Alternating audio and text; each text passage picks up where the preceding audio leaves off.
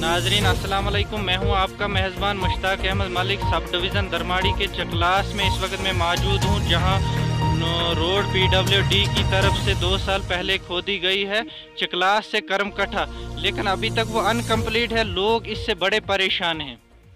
ہم مشتاق جی کے شکر گزار ہیں جو یہاں پہ آئے ہیں اور ہماری روڈ کی کنڈیشن دیکھیں کہ ہماری روڈ کی کیا کنڈیشن ہے۔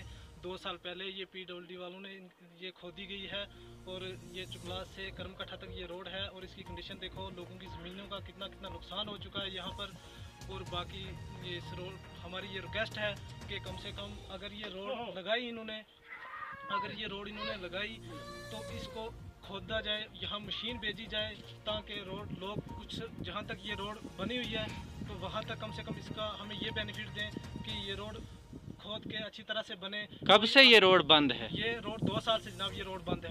کم سے کم لوگوں کو اتنا اس کا بینیفٹ ہو کہ اپنے گھر میں کوئی مکان بنا رہا ہے کوئی کچھ کر رہا ہے کسی نے کچھ اپنا کام اگر روڈ بنی ہے تو اس کو صاف کیا جائے۔ ٹھیک ہے؟ ہماری یہ ریکویسٹ ہے ایم ایل اے صاحب سے اور ایس ڈی ایم درماڑی صاحب سے کہ کم سے کم اتنا ہمیں اس کا بینیفٹ دیا جائے۔ ٹھیک ہے؟ ہمیں یہ کوئی پتہ نہیں یہ کس احتیاط کیسے ہے یہ دو کلومیٹر نہ جانے اس کا کوئی نہ آگے پوائنٹ نہ پیچھے اس کا کوئی پتہ نہیں ہمیں لگ رہا۔ ہے ہم یہ کوشش کرنا چاہتے ہیں کہ اس کی اس کے بعد نہ تو ادھر کوئی آیا، نہ اس کا کوئی آگے کا لنک نہ پیچھے کا۔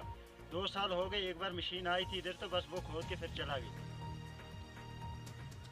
Lazawal Urdu news YouTube channel کو سبسکرائب ضرور کریں اور بیل آئکن پر کلک کریں۔ بیل آئکن پر کلک کرنے سے آپ کو تازہ ترین خبروں کی فوری جانکاری ملے گی۔